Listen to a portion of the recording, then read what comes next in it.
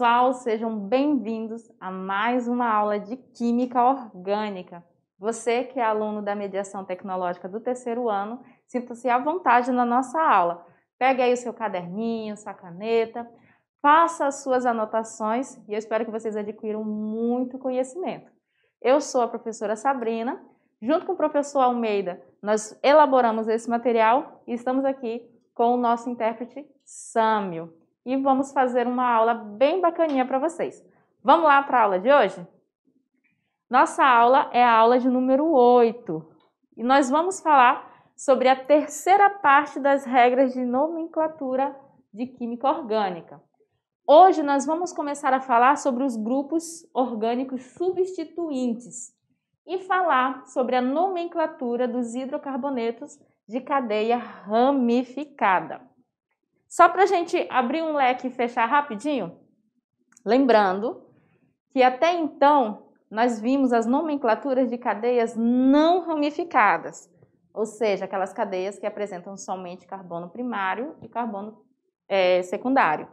Agora a gente vai aprender sobre as cadeias que apresentam carbono terciário e quaternário que são aquelas cadeias que nós chamamos de ramificadas.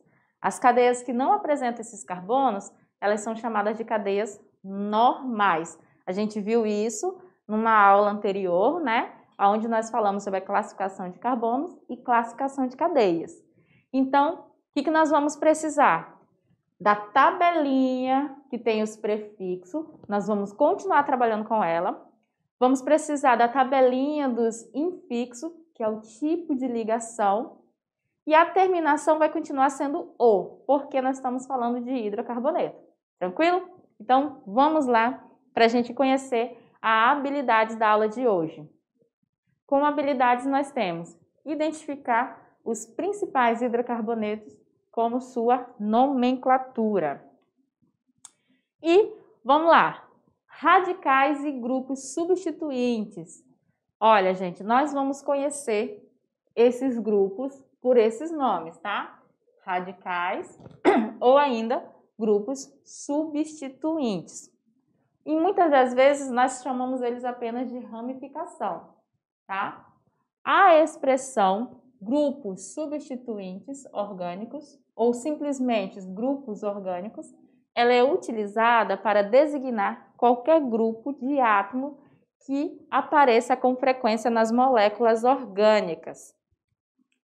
Em outras palavras, temos que quando espécies orgânicas aparecem substituindo um ou mais átomos de hidrogênio de uma cadeia carbônica, no caso uma cadeia de hidrocarbonetos, elas recebem o nome de grupos orgânicos substituintes. Como que isso acontece? Nós vimos que os hidrocarbonetos eles são formados apenas por carbono e hidrogênio, né? Carbono, que a gente representa lá pela letra C, e os hidrogênios, né? Pela letra lá H. E aí, o que acontece? Nós temos uma sequência de carbonos, cada um deles fazendo quatro ligações. E aí, o que acontece? Os grupos substituintes são grupos de carbonos que se ligam a um desses carbonos da cadeia, substituindo um dos seus hidrogênios. Por isso que eles recebem o nome de grupos substituintes. Aonde nós vamos ter rompimentos de ligações e formação de ligações novas. Vamos lá para a gente ver como que isso acontece?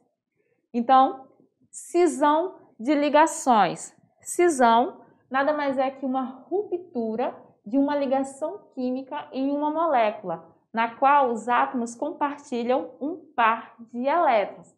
Cada átomo retém um elétron do par que constitui, constituía a união formando-se radical. Então, nós vamos ter a cisão homolítica, que, é um, que o nome já diz, é uma ruptura que é feita de modo igual o que resulta na formação de radicais livres. Então, o que, que isso quer dizer? Ó, nós tínhamos uma molécula formada por A e B. Esse traço aqui significa que eles têm uma ligação. Durante essa ligação, eles estão compartilhando elétrons. O composto A compartilha o seu elétron e o composto B compartilha o elétron dele. Então, aqui nós temos um par de elétrons sendo compartilhados. Quando nós temos a cisão, que é a quebra dessa ligação, cada um dos seus elementos fica com um elétron livre. E esse elétron livre aqui, ele vai procurar se ligar a um outro átomo. Então, o que, que vai acontecer? A gente vai ter a ligação desses grupos com a, os carbonos da nossa cadeia carbônica. E aí, eles formam o que nós chamamos de ramos ou ra, é, ramificação. Nós temos ainda também a cisão heterolítica. Heterolítica, ou hetero quer dizer diferente, né? é quando a ligação se rompe, um dos átomos fica com os dois elétrons que antes eram compartilhados. Neste caso, o átomo que perdeu o elétron se torna um íon positivo. E o outro átomo, o que ganhou o elétron, se torna um íon negativo. Os íons são estrutura com carga positiva, ou seja, falta de elétrons. E os ânions são estrutura com carga negativa porque eles têm excesso de elétrons. Então aqui nós temos o composto iônico que nós chamamos, vai ter a ruptura e o composto B, ó, que é o elétron do A, elétron do B. Quando a gente tem a ruptura aqui, esse composto B, ele vai embora levando o elétron do elemento A. Por isso que depois da minha ruptura, nós ficamos com o A positivo, isso significa o quê? Que ele perdeu elétrons. E nós ficamos com o elemento B negativo, porque ele ganhou elétron, ele ficou com carga negativa a mais. Isso aqui ocorre nas ligações iônicas. Tá, pessoal? Iônicas. Aqui com os carbonos, eles eles fazem compartilhamento de elétrons. Então, vai ocorrer a cisão homolítica, que é a cisão que ocorre nas ligações covalentes. Grupos orgânicos substituintes. Bom, os radicais podem ter uma, duas ou três valências livres, ou seja, ele pode ter um, dois ou até três elétrons que buscam fazer ligação. Por isso que recebe o nome de valência livre, tá, pessoal? Então, eles são denominados como monovalentes. Mono vem de um. Então, ele tem apenas uma valência livre. São denominados também divalentes. Nesse caso aqui, eles têm duas valências livres. E trivalentes quando eles tiverem três valências livres. Então, aqui na nomenclatura, o que, que nós vamos ter? Para nomear os grupos derivados de hidrocarbonetos saturados monovalentes, deve-se indicar o número de átomos que o carbono, né, que ele tem, o, o número de átomos de carbono, por meio dos prefixos apropriados. Professora, que prefixo? Os que a gente já aprendeu lá no início. Met, et, prop, but, são todos os prefixos que sempre vão determinar um número ou a quantidade de carbono. Depois nós vamos terminar a nomenclatura usando o sufixo. O sufixo é lá no final, o último, que vai ser o IL, I e L ficando mais ou menos assim: prefixo mais a terminação il.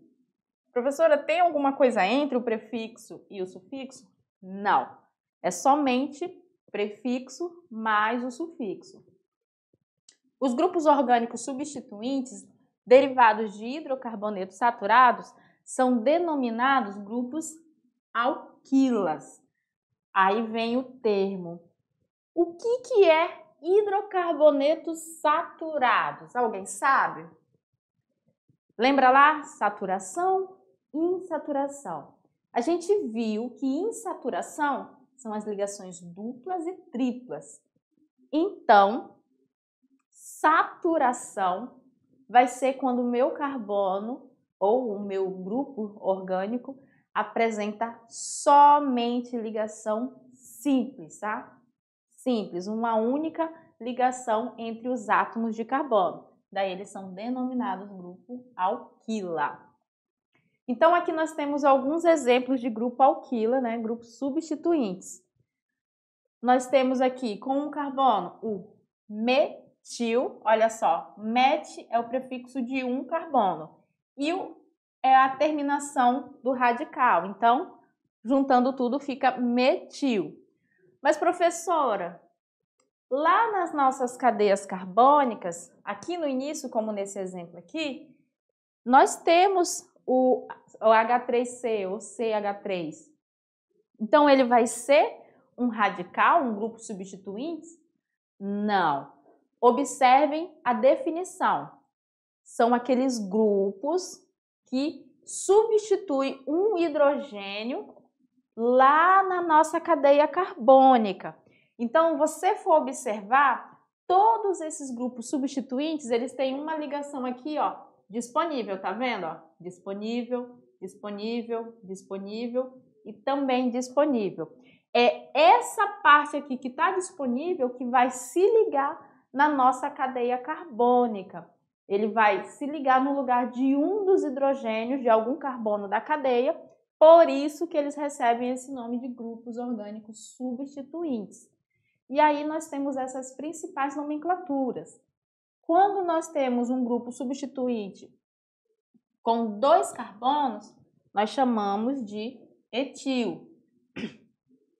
Com três carbonos, sendo que a ligação vai ocorrer aqui, ó, nesse, nesse primeiro carbono, nós chamamos de propil.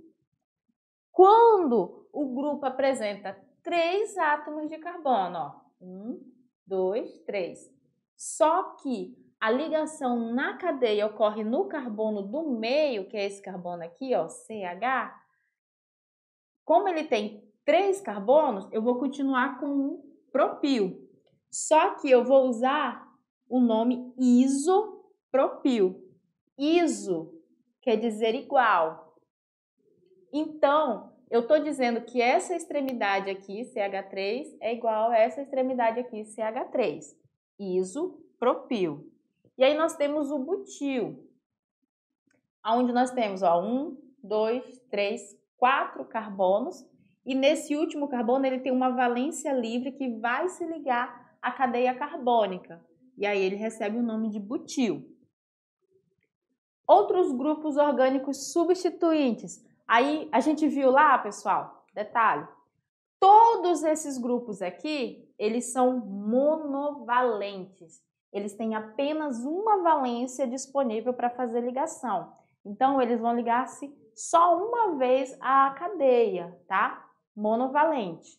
E aí a gente tem um, outros grupos substituintes aonde a valência pode variar, tá? E também existem os substituintes orgânicos que são derivados de compostos aromáticos. E eles são conhecidos como arilas. E aqueles que são divalente e trivalente, olha só. Divalente, observe aqui. O carbono faz quatro ligações. Esse carbono aqui está ligado a dois hidrogênios. Significa que ele teria que fazer mais duas ligações. Então, ele tem uma, duas valências disponíveis. Ele é o que nós chamamos de divalente. O nome dele aqui, ó, é metileno. E nós temos esse outro aqui, que apresenta uma, duas, três valências disponíveis, tá? Ele é trivalente. O nome dele é etilidino. Então, pessoal, esses são outros grupos substituintes que também podem aparecer. Porém, dentro do nosso estudo, nós vamos trabalhar com esses aqui, que eles são chamados dos principais grupos, tá?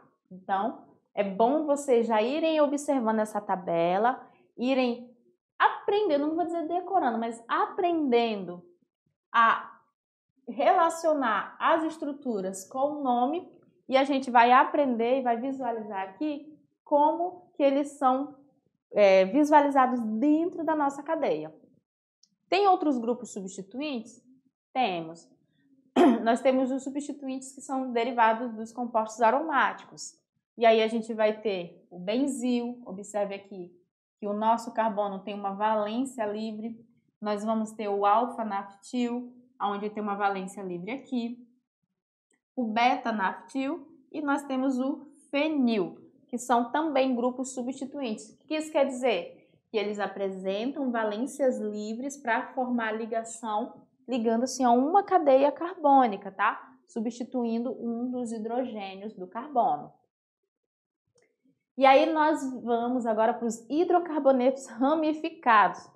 Nós vamos pegar uma cadeia carbônica e vamos adicionar a elas esses grupos que a gente acabou de conhecer para a gente poder dar o um nome desses compostos. Então, os hidrocarbonetos ramificados, eles apresentam os grupos substituintes ligados à sua cadeia carbônica. Então, qual é o nosso primeiro hidrocarboneto que nós trabalhamos? Foram os alcanos. Então, nós vamos ver os alcanos ramificados, que são aqueles que têm que aparecer lá na sua estrutura as ramificações, ó. Seus nomes, eles derivam do alcano correspondente, né? Trocando-se a terminação ano pela terminação il, que foi que a gente viu lá. Por exemplo, nós temos o alcano CH4. O nome dele é metano. Né? O carbono com as suas quatro ligações feitas. Mas existe, vou fazer aqui no outro lado, um grupo substituinte que nós chamamos de CH3. Significa que esse carbono aqui, ó, como ele está ligado a três hidrogênios, ele ainda vai fazer mais uma ligação. Ele tem uma valência livre. Para dar o nome dele, eu vou utilizar o quê?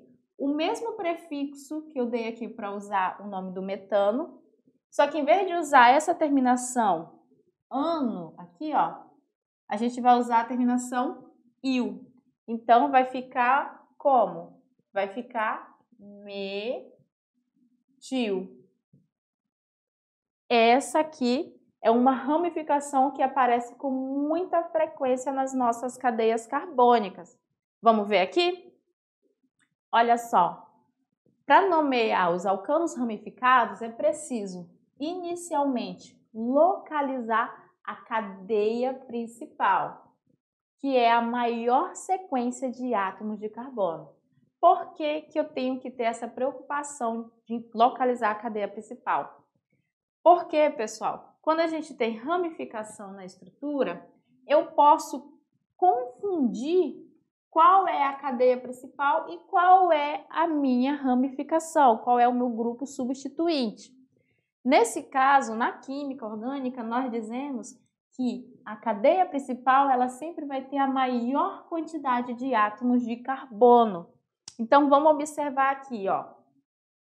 Se eu fosse dizer que essa daqui é a minha cadeia principal, quantos átomos de carbono eu teria? Eu teria aqui, ó, um, dois, três, quatro, cinco.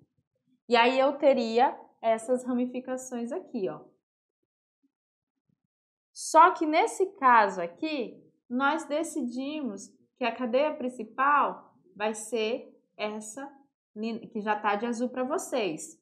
Se ela é a minha cadeia principal, todos os átomos de carbono que saem da minha cadeia são grupos substituintes, que nesse caso aqui, ó, é o grupo substituinte, aqui também é outro grupo e aqui outro grupo.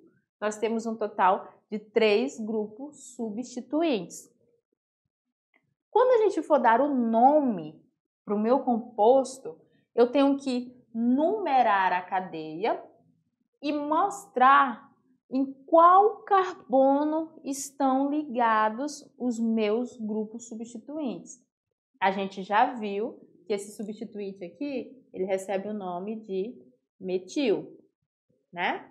A gente viu isso já.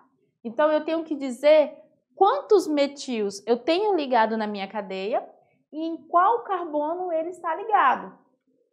Por isso que a gente faz essa numeração, né? A gente já identificou os nossos grupos, a gente já numerou e agora a gente vai fazer o quê? Vai dar o nome da minha cadeia. Eu sempre falo para os meus alunos que é interessante vocês irem fazendo desse passo a passo. Identifica a cadeia principal, vê quais são as ramificações que tem, nesse caso aqui são todas iguais, são todas metil, e aí você vai dar o nome para o nosso composto. Por regra da IUPAC, eu sempre vou colocar o número aonde está a minha ramificação na frente do nome e depois eu vou dar o nome dos meus grupos substituintes em ordem alfabética, tá? Como eu só tenho metil, eu posso colocar simplesmente o metil aqui.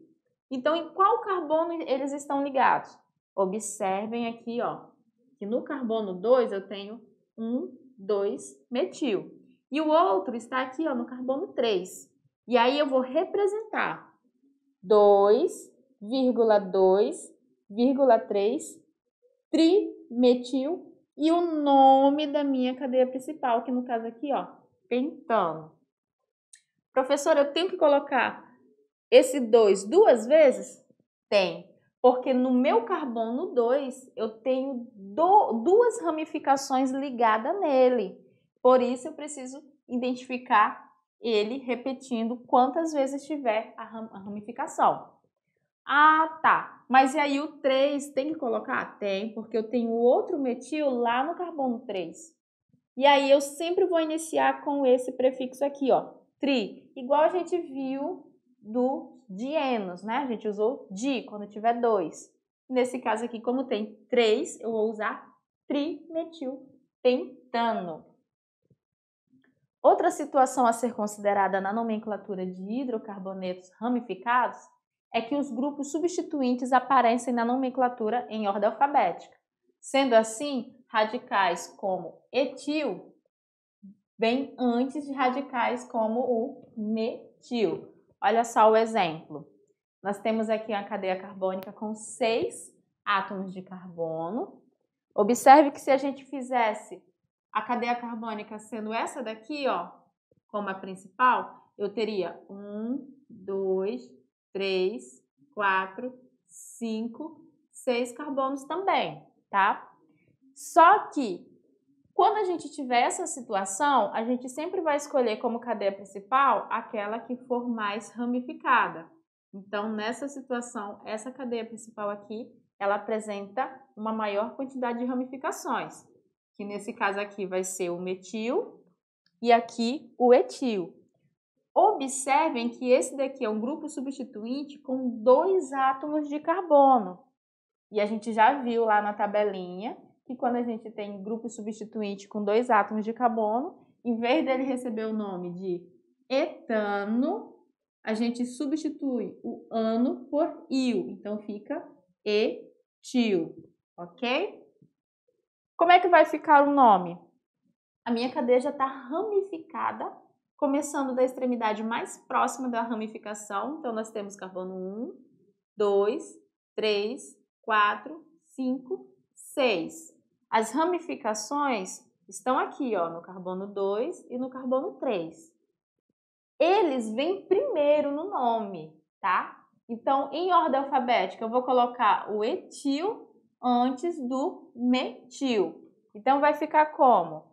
3 etil, por quê? Porque o etil, ele está ligado aqui, ó, no carbono de número 3, tá vendo? Então, eu coloco 3 etil, tracinho. Aí, agora eu vou dar o nome e vou mostrar aonde o metil está ligado. Nesse caso, o metil está ligado aqui, ó, no carbono 2.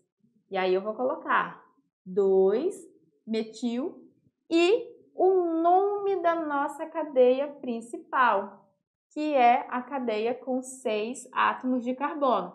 Essa daqui, ó, que está de azulzinho.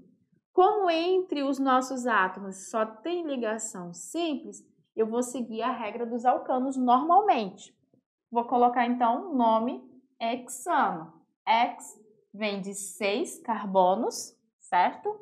O AN vem de ligação simples e a terminação com a letra O vem de hidrocarboneto. Então, o nome desse composto aqui vai ser 3-etil, 2-metil-hexano.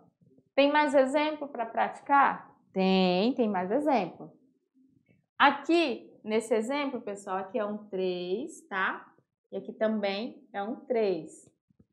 Para ficar certinho, ficou um pouco ruim para vocês visualizarem, né? Como é que vai ser? Nesse esquema aqui, observe que a cadeia principal ela não ficou em linha reta. Por quê? Porque a minha definição de cadeia principal é aquela que tiver a maior sequência de átomos de carbono e que apresentar maior número de ramificação. Se a minha cadeia principal fosse essa daqui, eu teria apenas uma ramificação, que seria o isobutil. Respeitando a nossa regrinha da IUPAC, eu tenho que a minha cadeia principal é essa de azul que já está delineada aqui para vocês. Ó. Isso significa que o restante que está para fora da minha cadeia principal são ramificações. Aqui o metil e aí o etil. Para dar um nome, eu vou fazer o mesmo esquema que a gente fez, tá? Que é numerar. Então, esse daqui é o meu carbono número 1. Sempre começando pela extremidade mais próxima das ramificações. Então, 1, 2, 3, 4, 5, 6. E aí eu vou fazer o mesmo esquema, ordem alfabética. Etil vem antes do metil. Então, eu vou colocar o número do carbono onde a minha ramificação etil está ligada e coloco o nome etil. Depois, coloco o número do carbono aonde a minha ramificação metil está ligada e coloco o nome metil. E depois dou um nome da cadeia principal como se não houvesse ramificação. Então, fica como?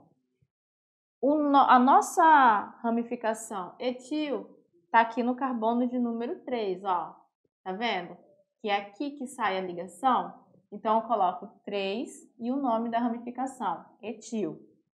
Já o nosso, a nossa outra ramificação, que é o metil, ele sai aqui do carbono 2, ó.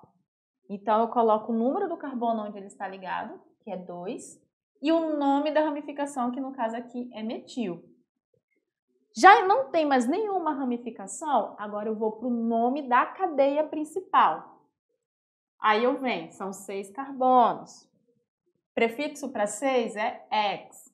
Só tem ligação simples, ó. Simples, simples, simples, simples e simples. Aí eu venho. O infixo para simples é AN. E é um hidrocarboneto, terminação O. 3-etil, 2-metil-hexano. Observe, não confunda cadeia principal com cadeia carbônica.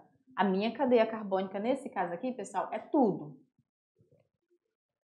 Tudo é a nossa cadeia carbônica. Cadeia principal, digamos que é o esqueleto aonde todas as demais partes vão se ligar, que nesse caso aqui é a que apresenta seis átomos de carbono. Olha esse exemplo aqui, que interessante. Eu tenho várias representações para ela aqui, ó. Essa é a minha cadeia carbônica. E aí, essa é a minha cadeia principal, que é isso aqui, ó.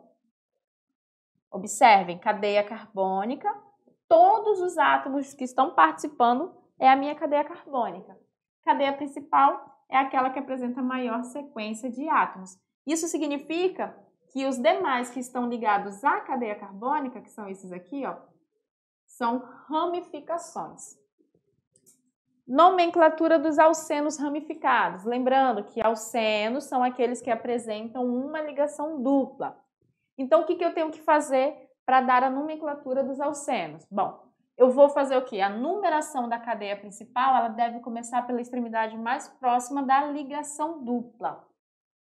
Nos alcanos, a gente começa sempre mais próximo da ramificação. Já no alceno, digamos que a ligação dupla é mais importante. Então, obrigatoriamente, eu vou começar pela extremidade que seja mais próxima da dupla ligação. Então, olha só esse exemplo. nós temos aqui uma cadeia carbônica, né? A insaturação, ela está mais próxima aqui, ó. Então, essa numeração, começando do 1, ela vai estar tá certa ou vai estar tá errada? Ela vai estar tá errada. Eu tenho que começar pela extremidade mais próxima, que nesse caso aqui vai ser começando por esse lado aqui, ó. 1, 2, 3, 4, 5. Independente se a minha ramificação aqui vai ficar com um valor maior, o que importa nesse caso dos alcenos é que a minha insaturação receba a menor numeração. Numerei, vou dar o um nome. Aonde é que está a nossa ramificação?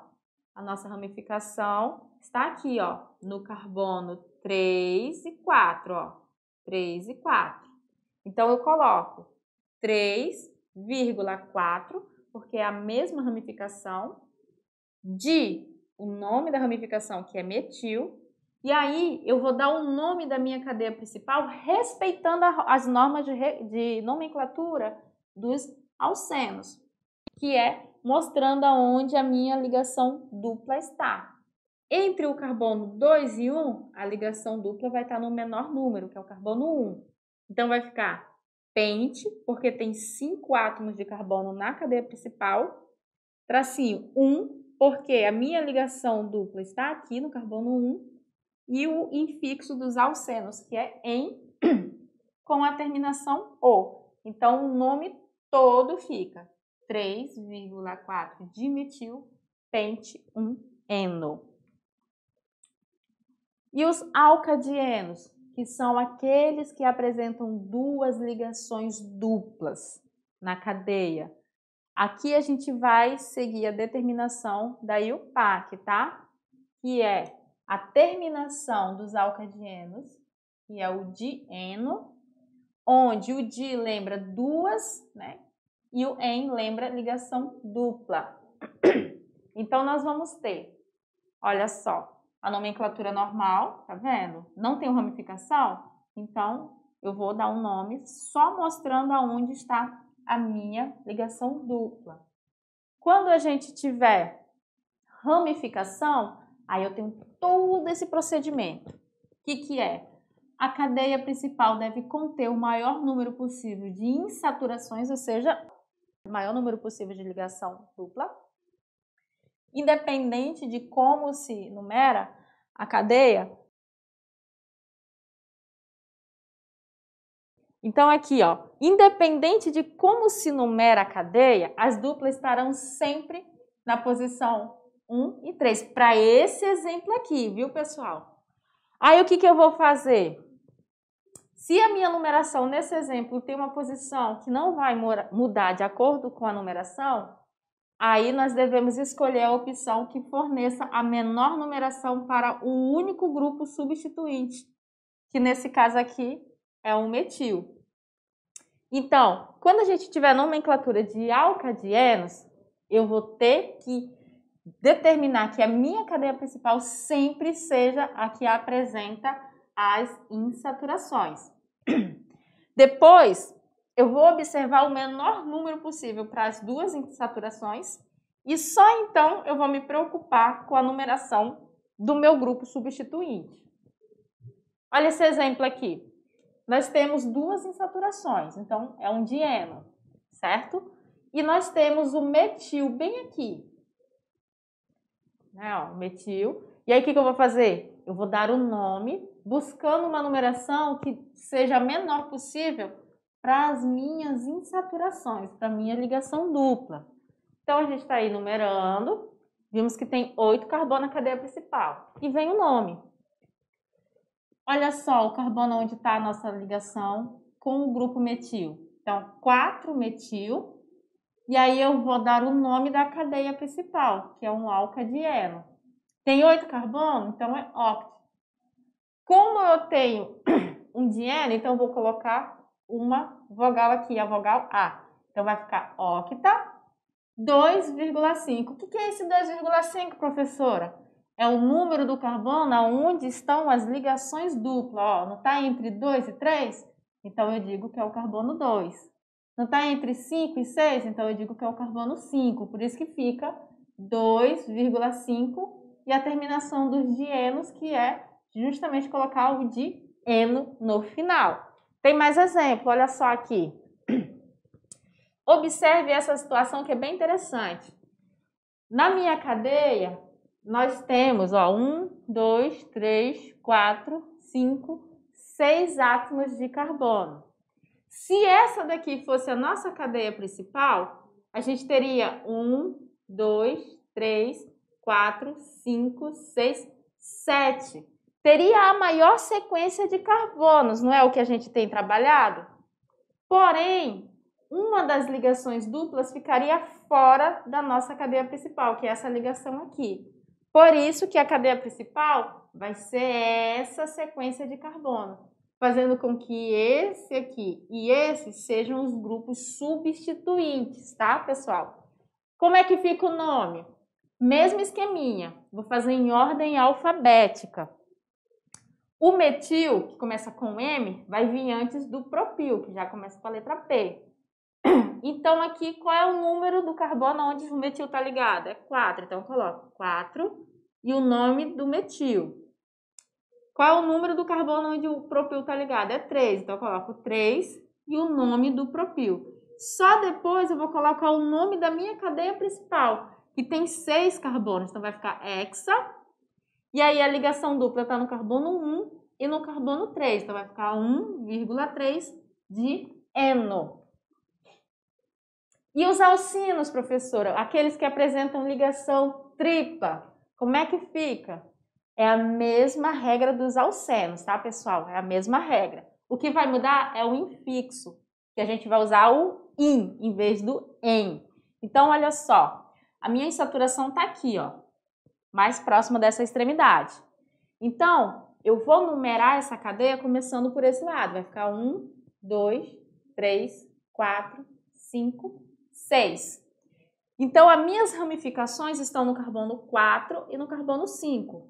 Observem que elas são iguais, metil, metil. Então, eu coloco como 4,5 de metil. E aí, eu vou dar o nome da minha cadeia principal, que é X, né? Porque tem 6, 2, ino. Eu só usaria o hexa se eu estivesse trabalhando com os dienos, tá, pessoal? Esse X aqui só aparece quando eu trabalho com dieno. Nesse caso aqui, como é um, um alcino, eu uso X somente.